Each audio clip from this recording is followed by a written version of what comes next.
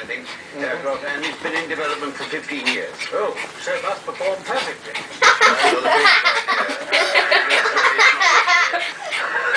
Oh, I see. Uh, why there?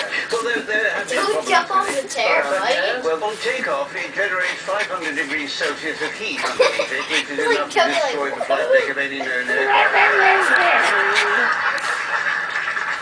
Uh, the jet draft is uh, 78 miles an hour, which Hey.